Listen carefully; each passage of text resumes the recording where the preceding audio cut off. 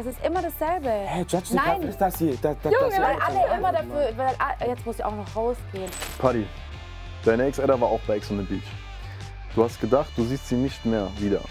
Falsch gedacht. Alessa, du hast in der Villa ziemlich viel einstecken müssen. Wie siehst du das heute? Wie ist das für dich, wenn du die Ausstrahlung siehst? Ähm, wenn ich es mir jetzt anschaue, ist es trotzdem auch nicht einfach zu anzuschauen, aber eben in der Villa bist du stark. Du, Alter, tu sie doch, was, was soll das, Mann? Hör doch auf, was. Ah ja.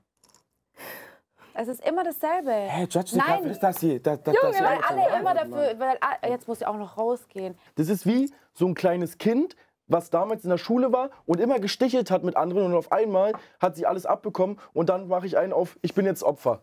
Sie stichelt doch die ganze Zeit, man sieht's doch. Jeder sieht doch, dass Alessa überall stichelt. Sie stichelt den ganzen Tag. Aber es ist, aber es ist verwerflich. Also, kann- du brauchst nicht Was? judgen, wenn sie, wenn sie weint. Na, aber Ich judge nicht. Ich Doch, muss du doch sagst Nein. gerade, jetzt, jetzt, jetzt, jetzt heulst du wieder. Ja, Jetzt heulst du. weil es darfst immer nicht die es einfachste Masche für Judgen. sie ist. Das ist doch nicht judgen. Ich judge doch nicht über Ja, doch, sie. du, du, du, du ziehst ins Lächerliche, dass sie nein, weint. Hast nein. du gerade so gesagt? Nein, nein, habe ich auch nie so gesagt. Ich habe auch nicht ins Lächerliche gezogen. Oder ihr tut immer mit dem Weinen. Lass sie doch weinen. Wenn, wenn sie emotional wird, wird sie emotional. Das könnt ihr nicht beurteilen. Ich kann es nachher zu deiner. Das ist immer der, die einfachste, das ist der einfachste Weg immer für Alessa. Einfach auf die Tränendrüse zu drücken, in der Hoffnung, dass sie in dieser Opferrolle, Opferrolle, bleibt. genau. Und das verstehe ich nicht. Da, ich, ich glaube das, dass sie eine starke Frau ist und dass sie Gefühle für dich hatte in der Villa. Ich schwöre, ich glaub's ihr. Ohne Witz.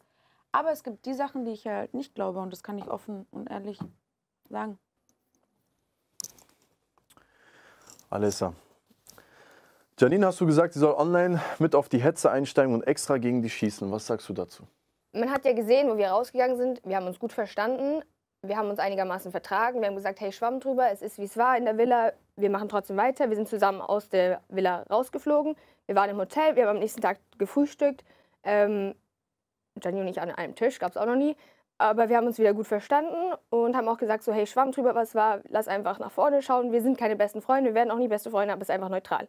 Das war unser Ausgangspunkt und ich hatte auch zu dem Zeitpunkt nichts gegen sie. Aber wenn die Ausstrahlung anfängt, sehen nur Leute, was sie da sehen im Fernsehen. Und dann kannst du nicht sagen, so, ja Leute, aber schwamm drüber, wir sind trotzdem beste Freunde jetzt. Du musst darauf eingehen, was in der Villa war. Es gab auch Gespräche, die ich nicht mal gesehen habe. Die habe ich auch zum ersten Mal gesehen im Fernsehen. Das heißt, du musst darauf eingehen, was in dem Moment in der Folge passiert. Ich kann nicht sagen, so, ja, ja Leute, ich habe ihr gerade eine Ansage gemacht, aber eigentlich habe ich sie voll gern, weil wir haben uns wieder vertragen. Dann spoiler ich und ich will die Leute auch nicht spoilern.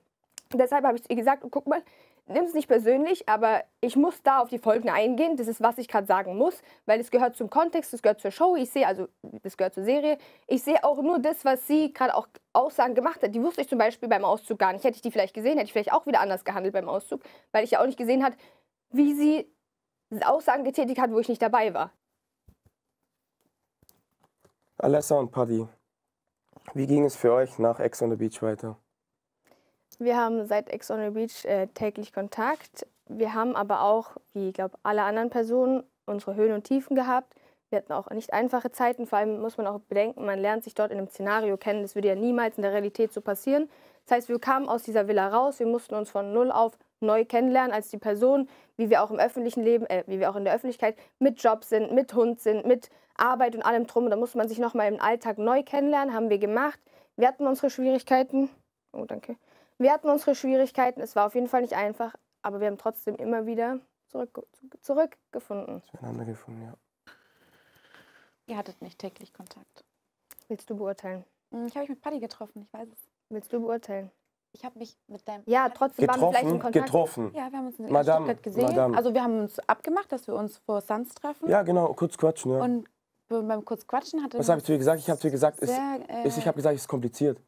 Nee. Doch, habe ich gesagt. Weiß ich noch ganz genau. Ich weiß sogar alles, was ich Jede anhatte. Ich weiß, was jede, so deine... alle haben Höhen und Tiefen. Hattest du immer nur, immer nur mit deinen, ich weiß nicht, wie es bei euch damals war, war es immer nur so? Nee, ich habe nicht immer von Höhen und Tiefen geredet. Also, Ich habe nur geredet, dass ihr nicht durchgängig Ah, und du weißt, dass wir in dem Moment nicht geschrieben haben. Das weißt du, weil du im Chat warst oder den Nee, Chat weil hast. er ja. mir es ja auch so erzählt hat. das stimmt halt nicht. Kannst du jetzt sagen, stimmt halt nicht. Doch, Maus. Echt? Doch. Du sagst, du sagst so, ich Ja, sag klar so. musst du dich jetzt in Schutz... oder? Weil, na klar Du musst du dich jetzt in Schutz nehmen vor Deutschland, deiner oder? Das- Perle. das- Ja, Ah, nee, rein, ist ihre Meinung. Ist ihre Aber- Meinung, soll sie behalten. Ich hab gesagt, es kompliziert, ich weiß ganz genau noch. Nein. Doch, Paddy, doch. sie war nicht dabei, Nein, lass sie reden. gesagt. Was ist euer Beziehungsstatus? Wir möchten es für uns privat halten. Oh. Ja, Ellie, mach deine Kommentare, wie du sie willst. Es ist unsere Entscheidung. Wir möchten alles, was wir haben, privat halten, weil es für uns einfach so am besten funktioniert. Und das ist unsere Meinung, das ist unsere Entscheidung. Viel Glück. Und die musst du akzeptieren. Alessa, wie hast du, eh. Alessa, wie hast du Paddy von dem Kuss mit Usoma erzählt? Paddy, wie stehst du dazu? Als ich die Villa verlassen habe, Ich kann's, ich kann's erzählen, oder? kannst du auch machen. Ähm, wir haben ja dann direkt, als du die Villa verlassen hast, war ich damals, ich weiß noch ganz genau, das war in, ähm, in Berlin war ich damals. Und dann war ich morgens mit Zeitverschiebung, ich bin um 6 Uhr, ich, konnt, ich war im Club damals mit, mit Flocke und ich konnte nicht schlafen und ich, ich habe bis morgens um 6 Uhr wach, auf einmal sehe ich so, äh, du hast meine Anfrage angenommen und hast mir geschrieben, dann haben wir Instagram. auf Instagram und dann haben wir da bis morgens um 9 Uhr telefoniert. Und sie hat mir alles erzählt und das sage ich auch euch. Sie hat mir alles erzählt, sie hat mir die, die Küsse erzählt. Sie hat mir das erzählt, dass einmal, es gab einmal außerhalb von der Party einen Schmatzer. Das war da, wo. Ja, ja. wo, Wo wo wir gesehen haben, ja. genau, das war da. Ja. Und die anderen Küsse waren auf einer Party. Und ihr wisst, wie es auf der Party war. Und das sieht man auch. Stand, also man, man hat es gesehen. Das waren die Küsse. Sie hat, sie hat mit meinem Bei T-Shirt Ex on the geschlafen. Beach wird aber keiner dazu gezwungen, auf einer Party jemandem Ich, die ich sag Kamera doch, zu ist küssen. doch jetzt Also egal. die Ich, Frage. ich erzähl's einfach nur, okay? Das sind freie Küsse. Es Keiner war, wird ich, sie hat mir alles erzählt. Jetzt im Nachhinein, als ich es angeschaut habe, es ist nicht schön, das trotzdem zu sehen, wenn man eine Frau kennenlernt. Sage ich ehrlich, ist Wir nicht schön. geredet. Ja, aber sie hat mir alles erzählt. Und ähm, Auch jetzt während der Ausstrahlung haben wir die ganze Zeit darüber geredet, wie es dir dabei ging. Das ist nicht einfach. Ich glaube auch jeder, der das, der so das sieht, ist nicht einfach, das, das zu sehen. Für sie war es bestimmt auch nicht einfach, diesen Kuss mit Juliette zu sehen. Ähm, aber ich sag's auch nochmal, ich hab's, ich hab's schon mal einen Kommentar dazu geschrieben. Ich habe Scheiße gebaut. Ich habe auch nicht verlangt, dass sie dann mit mir geht, okay? So mäßig. Ich habe zu ihr gesa- gesagt in einem Raum, ich will, dass sie noch Spaß hat. Ich habe zu ihr gesagt, du bist hier, wir sind bei Ex on the Beach, wir sind in Mexiko. Sonja, alles, hab deinen Spaß, okay? Sei nicht in der Ecke und, und heul, sondern hab deinen Spaß. Und ich kann ihr, deswegen kann ich, ich habe Scheiße gebaut und deswegen, auch wenn sie hat es dann auch gemacht, also mäßig, sie hat mit Uso dann auch geküsst, ihn auch geküsst, so kann ich nicht sagen, sie hat mir alles erzählt. Und wir waren ja auch zu dem Zeitpunkt noch nicht offiziell zusammen oder sonst was. Wir waren in der Kennenlernphase. Natürlich ist scheiße sowas, aber da sind mehrere Sachen vorgefallen. Wir haben drüber geredet. Ich kaufe euch gar nichts ab. Musst du auch nicht, Ellie, wir müssen dir nichts beweisen, Ich weiß. Aber seid ihr jetzt ein Paar oder nicht? Natürlich sind weil wir wir privat halten. Alessa, im Aftershow-Podcast sagt Josua, du würdest nur eine Influencer-Beziehung wollen. Hören wir mal rein. Was ich auch, warte, darf ich kurz was sagen zu der. Situation? Was ich auch witzig finde. Mir haben ja am Anfang alle vorgeworfen, ich stehe nur auf blaue Haken. Tust du auch. Hat Paddy einen blauen Haken? Kriegt er noch, er kauft sich jetzt einen für dich. Aber wir wissen ja auch nicht, ob ihr zusammen seid oder nicht. So am Ende des Tages bin ich der Meinung, ich glaube, das wissen auch viele oder das sehen viele auch so als Außenstehender, dass äh, für, für mich Alessa auf der Suche nach jemandem ist, mit dem die danach so Temptation gehen kann. So, bei mir hat das nicht geklappt, okay, Fabi wieder, Fabi greift mal an und so. Hat auch nicht geklappt, okay, wer kommt rein? Paddy kommt rein, yeah, nächster. Und hätte das mit dem nicht geklappt, dann wäre der nächste gekommen. So, sie will diese, meiner Meinung nach, so wie das rüberkommt für mich, wie ich sie kennengelernt habe da drin, möchte sie unbedingt diese, ähm, diese Influencer-Beziehung, weißt du, was ich meine? So, um dann Sommerhaus und dann da rein und da rein und so. Und äh, ich feiere sowas halt nicht, wenn man das auf Krampf so heraufbeschwören will, weißt du? Ist vollkommen in Ordnung, ist seine Meinung. Er ist auch eine Person, die mich nicht kennt. Er hat mich irgendwie vier Tage in der Villa kennengelernt und er muss mir nichts erzählen von wegen von dem Mann zu dem Mann. Also er war ja auch gefühlt bei zehn Frauen oder sowas, also muss er mir da gar nichts erzählen. Ähm, ich habe schon immer, auch schon vor Ex on the Beach, in öffentlichen QAs in Instagram gesagt, wenn ich mal eine Beziehung habe, werde ich sie privat halten, weil ich einfach nicht möchte, dass andere Augen oder andere Leute sie kaputt machen können, weil was dir wichtig ist, hältst, hält, halte ich privat. Das ist meine Entscheidung und meine Meinung dazu. Muss kein anderer verstehen, das ist meine Sache.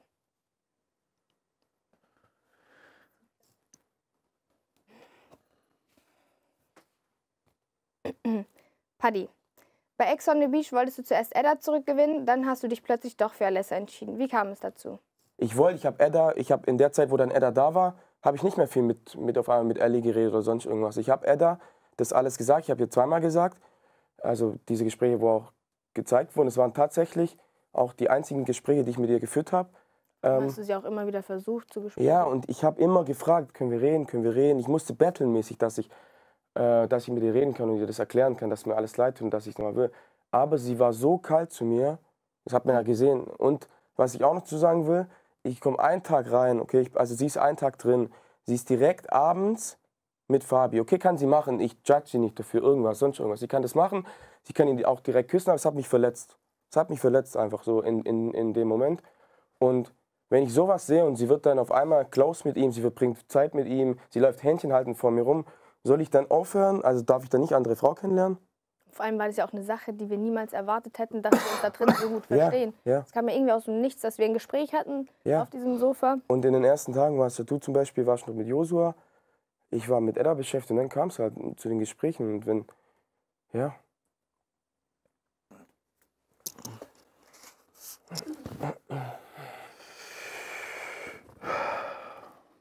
Paddy, deine Ex-Edda war auch bei Ex on the Beach. Du hast gedacht, du siehst sie nicht mehr wieder. Falsch gedacht. Halli, Hallöchen, Friends oder vielleicht auch nicht Friends. Ähm, wie ihr sehen könnt, kann ich heute leider persönlich nicht dabei sein, weil ich busy bin. Wobei leider, ich denke mal, dass der ein oder andere sich sehr darüber freut, weil die Argumente vielleicht höchstens dafür ausreichen, hier gegen mein Video anzukommen. Aber egal, habt ihr auf jeden Fall heute nochmal Glück gehabt. Aber RTL hat mir netterweise schon ein paar Fragen zukommen lassen und die habe ich für euch beantwortet. Hast du nach Ex on Beach nochmal mit Paddy gesprochen? Also ich kann euch erzählen, was nach dem Auszug ähm, passiert ist. Als ich aus der Villa von Ex on Beach gekommen bin, habe ich als erstes einfach erstmal einen großen Schluck Wasser genommen und als zweites den Paddy überall blockiert. Und das hat sich richtig, richtig gut angefühlt. Und es war der richtige Move. Seitdem hatten wir keinen Kontakt mehr, haben nie wieder miteinander gesprochen. Er hat sich nicht gemeldet. Ach so, er konnte ja auch nicht. Also I'm sorry, falls du das wolltest. Und ja, damit hat sich das Ding. Wobei, ah doch was, Moment mal. Ähm, ich habe tatsächlich vor ein paar Monaten meinen Geburtstag gefeiert, habe das auch ein bisschen größer gemacht, einige Leute eingeladen, auch ein paar Leute von Ex on the Beach. Und da hat mir dein guter Freund Barkin tatsächlich erzählt, dass du, Paddy, auch gerne gekommen wärst. Das finde ich ja sehr interessant, einfach random zu meinem Geburtstag kommen zu wollen, obwohl du nicht invited bist, mich gleichzeitig im Internet als Clown betitelst und auf dem Schoß von Alessa liegst. Das macht für mich wenig Sinn. Also da muss ich kein Mathematiker sein. Diese Gleichung, die gibt es in meinem Kopf nicht und die geht auch in keinem Universum auf. Also offensichtlich bist du genauso wahrnehmungsgestört wie auch bei Ex on the Beach.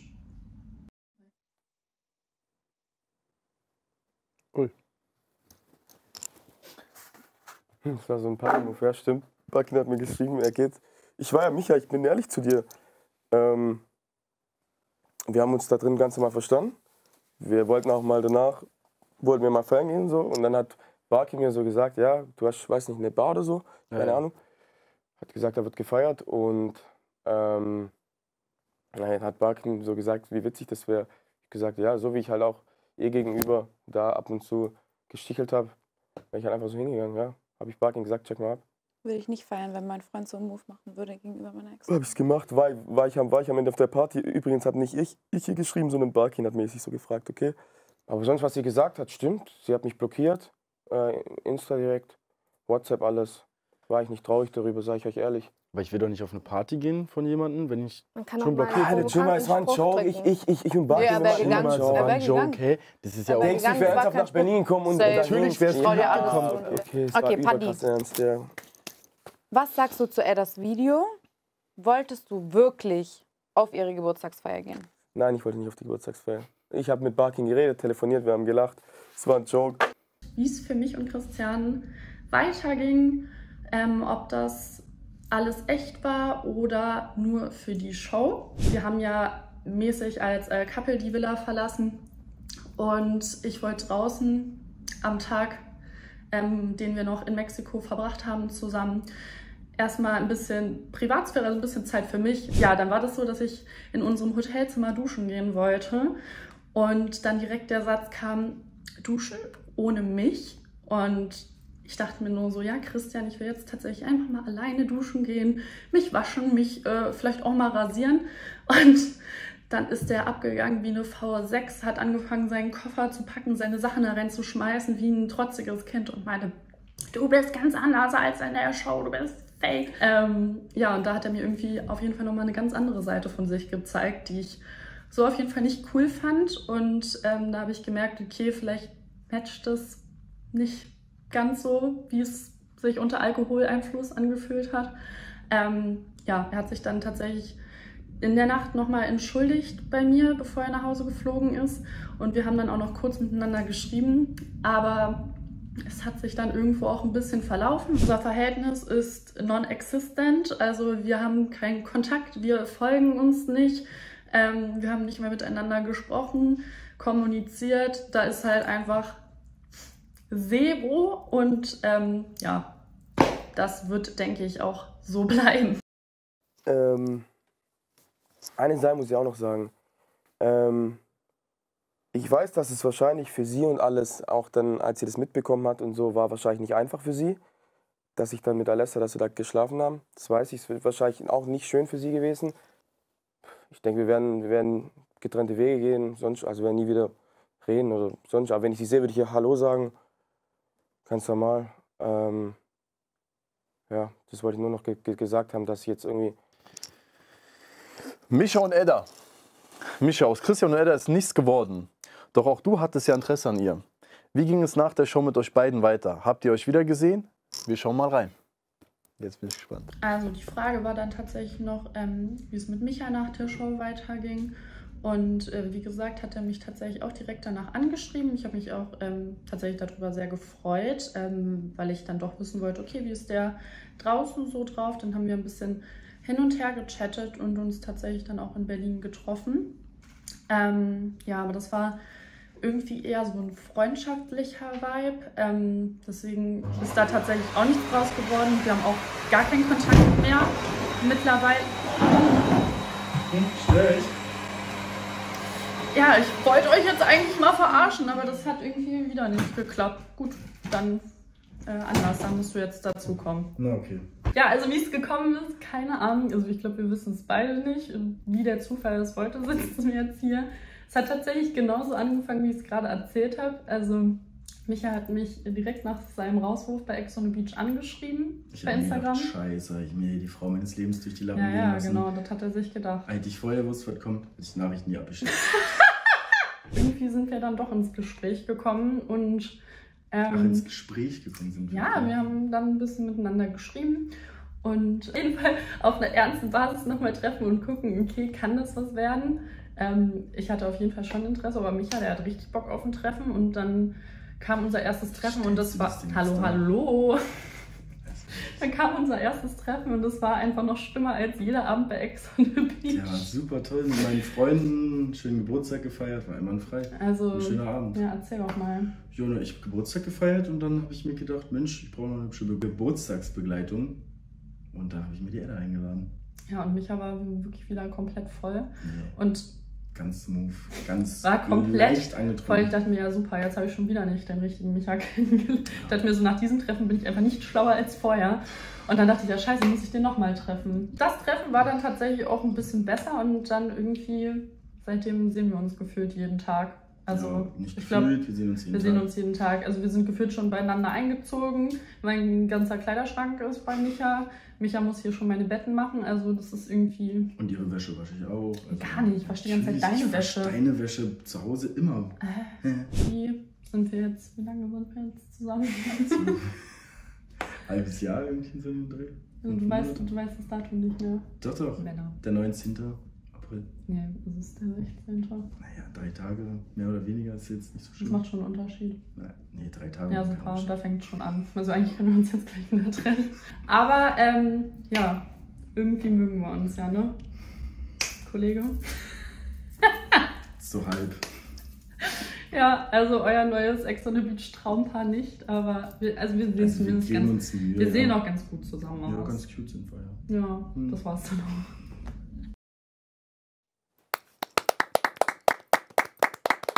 Schön, freut mich. Glückwunsch. Danke. Ja, wir haben uns halt, wie gesagt, danach wieder getroffen. Ähm, ich würde sagen, am Anfang war es so ein bisschen, dass Edda da einfach mehr Intuit war, äh, so wie man sagt.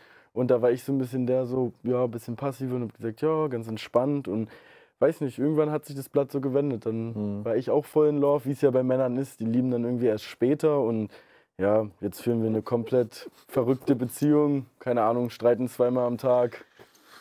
Vielleicht auch manchmal dreimal. Ja, das also ist es ist, bekannt. ja, wir, wir stehen auch dazu, ist alles gut so. Wir arbeiten stetisch irgendwie dran, dass es besser wird, aber es ist schon manchmal sehr herb. Aber ich glaube, gerade weil so viel Emotionen hinterstecken bei uns beiden und ja, das ist halt manchmal. Aber ihr liebt euch und ihr seid glücklich. Genau, wir lieben uns, wir sind glücklich und wir fangen uns auch immer wieder nach einem Streit, ja. Wie war so Ausstrahlung für euch beiden so? Hart, ganz Okay. hart. Also die Zeit ist ganz hart. Ich mache jetzt drei Kreuze, wenn es vorbei ist. Ähm, Ja. ich bin halt auch so ein Mensch, ich kann nicht mit angucken, wenn meine Freundin da irgendwie so mit anderen ist und so. Und ja, da gibt es ja halt eine Person drin, die da ein Riesenthema ist, ne? Und keine Ahnung, ich kriege jedes Mal, wird mir schlecht Herzrasen. Ich, keine Ahnung, ich könnte irgendwas aus dem Fenster schmeißen. Also, weiß nicht, der Anbauwand, irgendwas könnte ich rausschmeißen, ich. sobald ich da irgendwie was sehe. Edda macht immer so dann einen auf cool. Nee, sie ärgert es nicht bei mir. Die ist ausgerastet wegen unserem Kuss. Also, und sie heute noch. Heute noch sagt sie, also ich habe, die ist dann ausgerastet, die hat mir das immer nur geschickt, geschickt, ja. Und ich sag, was schickst du mir denn jetzt diesen Kuss? Fünfmal, ja. Bei Instagram dreimal, bei WhatsApp fünf Bilder. Denk so, ja, ich sehe das überall. Ich sehe das nicht auch. Und ich sag so, hä, du sagst du hast gar kein Problem und ich soll mal cool down, ich soll nicht immer so angespannt sein, wenn ich sie sehe, ja. Komplett ausgerastet. Da war auch Streit, keine Ahnung. Der eine Streit war vorbei, dann ging der nächste abends wieder los und ganz schlimm gewesen. Deswegen drei Kreuze, wenn es vorbei ist und ich glaube, dass sich dann unsere Beziehung auch nochmal so ein bisschen beruhigt wieder. Ja. Das Also, war ja nur ein Freundschaftskuss. ja, war's. Gell? Genau. Ja, ich Sag glaube. dir Grüße, dass es mich freut für euch beide. Danke. Ehrlich, Toi, toi, toi. komm von. Herzen. Viel Glück. Danke. Wirklich. Euch auch, falls da was ist. Man weiß es ja nicht. Ah, Micha. Wie ist dein Verhältnis zu Christian?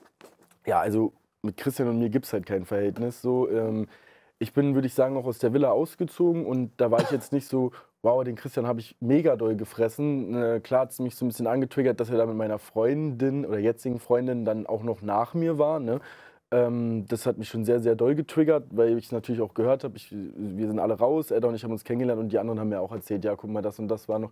Das heißt, ich wusste das schon vor Ausstrahlung. Ähm, aber so ein bisschen der Vogel wurde, glaube ich, abgeschossen, wo ich die Folgen gesehen habe und wie Christian einfach dort spricht. Also auch ähm, fängt an, ja, stehen auf richtige Männer, okay, gut, lass ihn noch so ein bisschen über mich herziehen, alles okay, nehme ich so, also nehme ich mit Humor.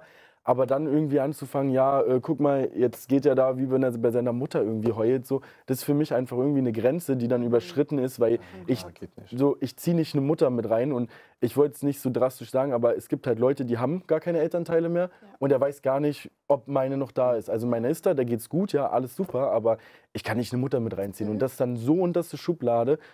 Und natürlich glaube ich dann die Emotionen noch, die ich dann mit reinbringe, ähm, weil ich mir dann irgendwie das angucke, dass meine Freundin noch mit ihm war und ja, Hat Edda denn auch schon Pamela Reif kennengelernt? Bekommen wir da vielleicht mal ein Workout zu sehen? nee, Edda und Pamela haben sich noch nicht kennengelernt. Mhm. Aber bekommen wir mal ein Workout zusammen zu sehen? Oder? Das weiß ich nicht. Wir Okay. werden sehen. Wie war es für dich, aus der Villa geschmissen zu werden? Ja, also vom Prinzip, wo diese Frage kam, wusste ich in dem Moment direkt, okay, jetzt bin ich halt dran. Und man rechnet ja schon vorher. Ich finde, ich jetzt null erwartet in dem Moment. also ich wusste es direkt. Ich habe es im Gefühl gehabt und ähm, also das heißt, ich gehe zu Ex on the Beach und dann rechne ich ja damit, dass ich da rausfliegen kann. Klar, alle sind, oder ich war traurig, dass es so kurz war, definitiv, aber ich glaube, manchmal ist es sogar besser, und jetzt, wo ich im Nachhinein Ex on the Beach gesehen habe, manchmal ist es besser, ähm, kürzer drin zu sein, als manche Personen, die sind da lang drin und die gehen halt unter. Und deswegen habe ich es schon eigentlich gut aufgefasst, dass ich da dann raus, rausgeflogen bin. Ich habe bei Steffi halt das Gefühl gehabt, dass Steffi mich so ein bisschen rausgeschmissen hat, weil, ich will es jetzt irgendwie vorsichtig ausdrücken, aber weil ich habe ja auch kein Interesse so richtig bei ihr gezeigt und ich glaube halt, hätte ich vielleicht da einfach auch ein bisschen mehr gezeigt. Ich war überall so ein bisschen. Ich glaube, das hat mir am Ende so ein bisschen, da habe ich mir selber irgendwie ein Bein gestellt und deswegen bin ich hingefallen. Ich will jetzt nicht sagen, dass sie vielleicht schon gewünscht hätte, dass ich mehr auf sie zugehe, aber das ist jetzt erstmal meine Vermutung. Ich habe es nicht gemacht und dann ist die logische Schlussfolgerung, dass sie mich rauswirft. So ist ein bisschen Weiß schade. nicht, was in ihrem Kopf da abging, aber für mich hat es auch ein bisschen dann so gewirkt, als wäre es eine Freundschaftsentscheidung Christian gegenüber, War's, weil du ja. hattest ja zu dem Zeitpunkt, aber Ja. das finde ich halt schade, weil es ist Ex on the Beach, weil du hattest Ja. in dem Moment aber mehr mit Edda, da war noch was Ich mit Janine und sonst was. also du ich- hast halt ja. Dich Genau. interagiert. Ja, Ich glaube, für Steffi war das in dem Moment auch eine sehr schwere Entscheidung. Ja. Und ähm, in dem Moment hätte, glaube ich, keiner gewusst, wie man argumentieren soll oder gerät mal aus, aus der? Schiene und in dem Moment, glaub, also für mich wäre es auch scheiße gewesen. Steff hat in dem Moment für sich entschieden. Am Ende des. Tages hat es für eine Beziehung mit Edda gereicht. Ihr Umso besser, glücklich. Das ist die Hauptsache, ich Du hast wollte ein gerade Happy. End bekommen. So, das war es mit dem Video. Ich hoffe, wir konnten alle Fragen für euch beantworten.